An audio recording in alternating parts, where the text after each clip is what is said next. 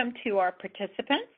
It is a pleasure having you join us today to talk about one of my favorite topic areas and perhaps yours because some of you have already shared with me some of your interest in this area, protocol deviations, documenting, manage, and reporting. So let's first have you learn a little bit about me. I have been in clinical research for over 24 years now. I started out as a research nurse at an academic center. I've worked as a clinical research associate as well as a clinical project manager for both a sponsor and CRO.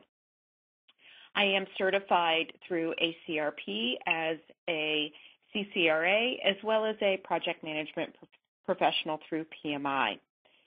I really enjoy training because I get to share my experience to help my colleagues learn about some of the maybe mistakes that we've made along the way and perhaps also too how we can put best practices into the research trials that we are managing so we can help grow as research professionals. I'm going to share our learning objectives. So our objectives for today's session are to do the following. I will describe the components of a protocol deviation and documentation and reporting. Also, identify the individual stakeholder roles and our responsibility in the management of protocol deviation.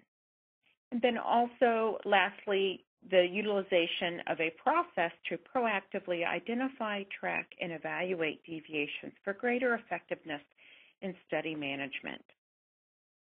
So, protocol deviations.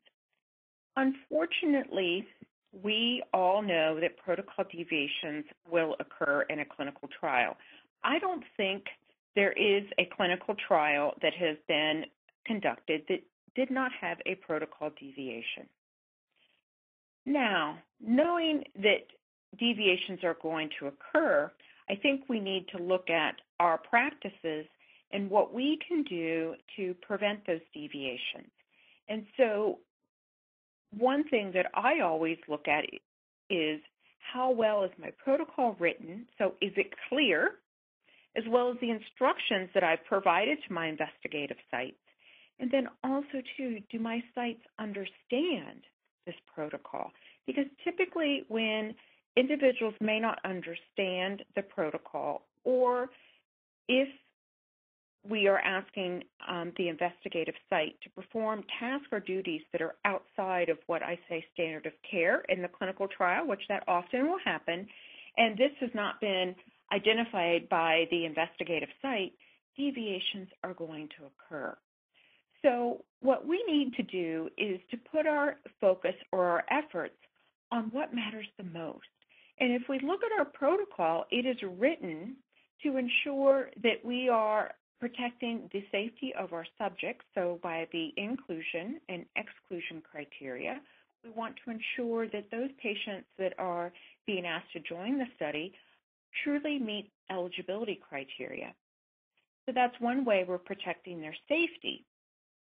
Also, too, we're protecting the safety of our subjects by following the protocol by performing procedures that have been identified. And so often when we look at the procedures that we are performing during the protocol, that is assessing subject safety. So, for example, we might be assessing the patient for a response to the particular investigational product. And so, if we forget or we omit doing a certain procedure, that could jeopardize the safety of our subject. But also, too, by not following that protocol and not having that data collected, we are also impacting our data, our data integrity, reliability, and its ability to be analyzed. And so I think when we look at protocol deviations, we also need to see how frequent are the deviations occurring. So we want to look at patterns. Is this a one-time occurrence or is this a pattern or a behavior that continues throughout the course of the clinical trial.